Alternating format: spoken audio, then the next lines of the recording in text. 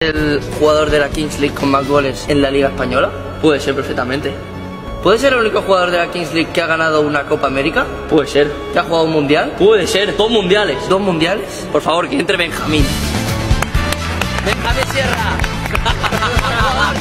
Nuestro jugador chileno, pero a ver, muchos diréis, vale, ¿por qué está Benjamín aquí? Esto no me cuadra. ¿Por qué qué, Benjamín? Porque es chileno, efectivamente. Entonces, yo creo que la mejor manera de presentar a este jugador es que lo diga un chileno. Así que Benjamín, pon acento chileno. Pongo acento chileno. Presentamos hoy a nuestro jugador número 2 y es Fabián Orellana.